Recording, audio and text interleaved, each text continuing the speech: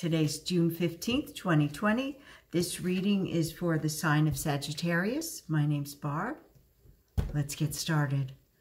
Okay, um, in the recent past, you had, a, looks like a new relationship.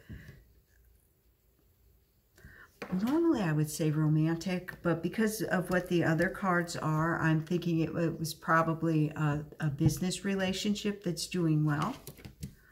Um, you took a risk and you, in the present, you are enjoying material success people are starting to notice, or they will be starting to notice your work. That's a good thing. And then uh, the outcome is that you probably will be juggling two projects or two jobs. You'll, you'll be able to manage it, but nonetheless, there'll be some juggling going on.